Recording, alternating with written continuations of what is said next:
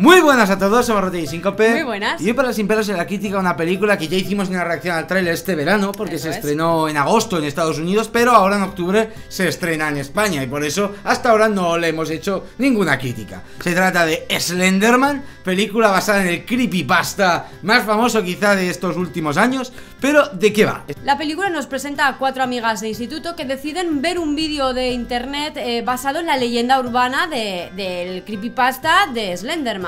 Es como una, un vídeo, es como una especie de, de ritual donde invocarán a esta figura y poco a poco pues irán viendo y notando pruebas de que realmente pues ha funcionado. Lo primero que hemos oído nosotros sobre cuando salió esta película es eh, que llega tarde, ¿no? Porque ya no está de moda Slenderman, etc. Y aquí tengo que romper una lanza por estas cosas porque creo que, igual que el hombre del saco, las leyendas urbanas nunca pasan de moda. Simplemente se recuerdan más durante un tiempo, se recuerdan más durante otro. Y Slenderman, aunque ha tenido su momento de auge, creo que será para siempre una de las primeras leyendas urbanas que más famosas se han hecho en el ámbito de, de los creepypastas. De hecho, a mí me gusta mucho ese creepypasta y no hace y hace rela- relativamente poco tiempo descubrí que realmente esta leyenda nació, Sí. nació de, de internet, igual que una que me gusta mucho que, que hicieron que se llamaba Der David, que era Sí. de, un- de una supone, la aparición de un niño fantasma, que también me, me, me encantó esa, esa, ese creepypasta. Pues Slenderman ni siquiera sabía que era eso, pensaba que era una figura como que siempre había existido como la como el hombre del saco. Entonces te quiero decir que son cosas que se, que se instauran Sí. en, en la al igual que hace Slenderman en la película. Decir que esta peli es Peggy 13, ¿vale? Cuando ya te dicen que la peli es Peggy 13, ya tienes que ir con la idea de que no vas a ver sangre, no vas a ver lenguaje soez, no vas a ver desnudos y vas a ver algo eh, un poco indicado hacia ese tipo de público que esperan que vaya al cine a verla. Dicho esto, ¿qué nos encontramos? Pues a estas cuatro amigas que, dentro de que tienen una actuación, joder, pues regulera, para que engañarnos, sí que la verdad es que te la crees y te lo pasas bastante bien viendo la película, para que engañarnos. Te entretienes y la diferencia quizás que hay con otro tipo de películas de, de este estilo es que las decisiones que van tomando las, las amigas y las conversaciones que tienen son un poco más coherentes Sí. que igual eh, lo que nos tienen acostumbrado en otras películas, pues como por ejemplo, bueno, cualquiera que las que nosotros decimos que son aventuritas de los, De los Goonies, Goonies, ¿no? sí. Pues cualquier otro tipo de decisión que tomaron, por ejemplo, en It, que tomaron en, en It Follows, en Feliz Día de tu Muerte, son películas que, que- que a nivel eh, decisión de los eh, adolescentes y Sí. tal, a nosotros nos quedaron un poquito más, más cortas, sin embargo esta no- nos cuadra un poquito más todo. Por ejemplo, por ejemplo, de It, It se clasificó R o más 18 por la, por la única escena del principio de la película con Georgie. Quiero decir, esa película, si le quitas esa escena, no pasa del Peggy 13 o el Peggy 16. Esta, en cambio, sabe eh, dónde tiene el límite y lo aprovecha al máximo, ya que sí que es verdad que consigue, pues pegarte algún susto, sí, Sí. que consigue tenerte en tensión, sí que consigue esa sensación de persecución que en nuestro caso It Follows no consiguió, en este caso sí, porque nuestro Slenderman será una persona real, será Javier Botet, ¿vale? Este, este gran actorazo que ya lo han cogido eh, para utilizarlo para hacer pues tanto Rey como Mama, como otros personajes que le van muy bien por su físico. Pues sí.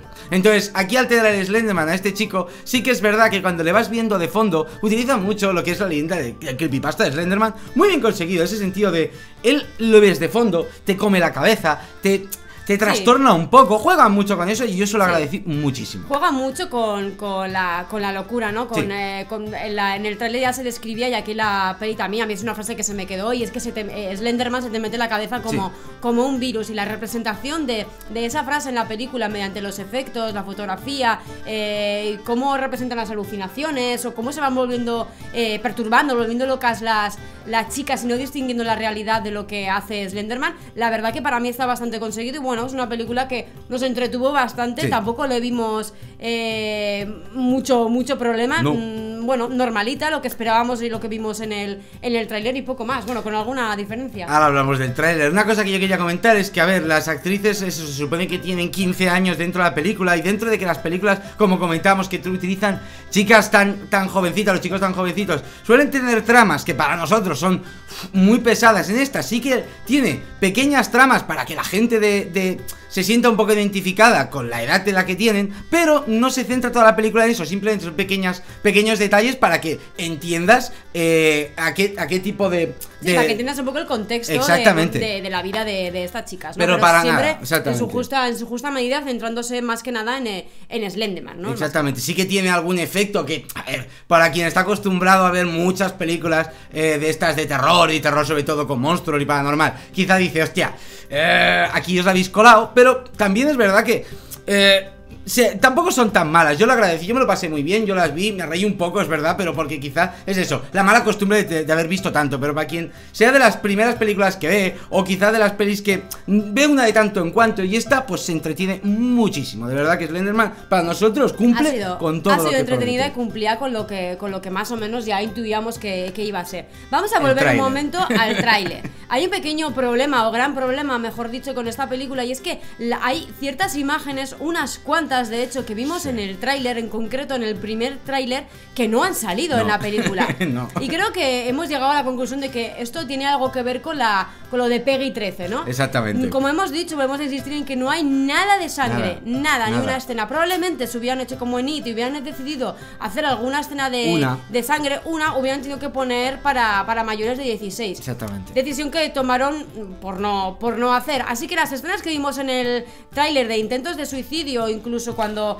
eh, una de las protagonistas se clava el bisturí en el ojo, Sí. no sé, eh, escena que creo que a todos a todo el mundo se nos quedó se nos quedó grabado porque estaban en clase y era bastante eh, chocante esa imagen, no sale. No sale. No sale. Incluso hay algún protagonista que en el tráiler nos lo muestran Sí. y que en la película no sale. Exacto, es un O sea, personaje. Hay personajes que no, que no salen, que, que sí que nos, nos dieron protagonismo en el tráiler. Hay un personaje que incluso si buscas el, el- el reparto de la película sale como protagonista y en la película solo sale una foto de esa persona. En cambio en el tráiler sí que parecía tener protagonismo. Entonces, ¿qué hemos entendido nosotros con eso? Que cuando salga DVD harán la versión Uncut. eh, uncut, la versión del director, la versión eh, sin cortes, la versión más 16 o la versión Exacto. X. Y pondrán ¿vale? esas escenas que aprovecharon para meternos en el, en el tráiler y que, bueno, pues que lógicamente pues esperábamos ver, no, no te voy a decir que no. Yo sí que recordaba Sí. mucho esa escena del, del bisturí en el ojo. De, de hecho, en la película, cuando aparece ya esa escena, ¿no? De que están en clase, dije, ah, vale, vale, ahora es. Y ahora es, ese ahora es no llegó nunca. Así que cuando acabó la película volvimos a ver el tráiler a ver si es que habían sido alucinaciones mías y nos dimos No, cuenta no, no. que había un montón de escenas y un montón estaban. de cosas que no salían en el tráiler, pero unas cuantas. Entonces, pues eso, esto hace que sea un- la verdad que un voto en contra de la película, Sí. porque, joder, es, es, no sé, es, muy- Pero- es una perrada hacer eso. Pero es lo que le he dicho comercialmente que han conseguido que la gente de X edad pueda ir a verla al cine sin un adulto y luego cuando salga en DVD la gente que quería ver un poco más la volverá a ver para verla con esas escenas. ¿Qué han hecho? Pues un marketing que te cagas de bueno, es lo que hay.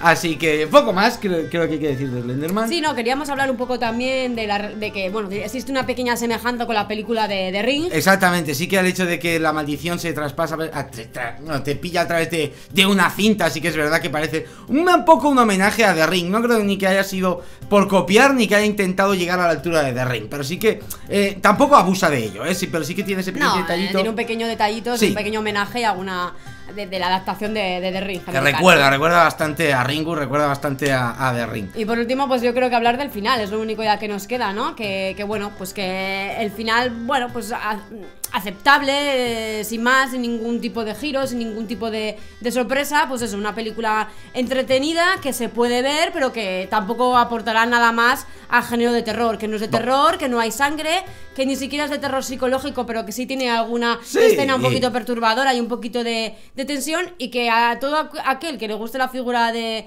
de Slenderman o de Slenderman, pues sí. bueno, creo que es creo que es disfrutable dentro de lo que dentro de lo que hay. Creo que a diferencia de Keep Watching, esta la ha tratado con, con respeto a la figura de Slenderman y la ha tratado bastante bien con lo que es. Realmente creo que los que son fans de Slenderman les va a gustar. Y sobre todo con el, con el final, no vamos a decir cómo acaba, pero a mí, a mí un final así, en una peli de este tipo, a mí me gusta. A mí me parece una decisión, muy buena decisión, eh, a la altura de lo que esperaba y realmente, eh, de verdad que incluso cuando salga yo la volveré a ver. Hombre, O sea, yo es lo que han conseguido mm, al hacerlo de eliminar las escenas, lógicamente es que pues yo también sea de, la, de las que volverá a ver la película cuando salga con, con la versión sin, sin escenas censuradas, está claro. Así que nada más, gracias un día más por estar con nosotros, gracias Síncope. Como siempre a ti, Roter. Darle al like, compartirlo, sobre todo que ayuda muchísimo. Cualquier comentario os hacéis spoiler, spoiler, por favor, que así es. no, no jodéis a nadie. Y nos vemos en la siguiente. Venga, Agur.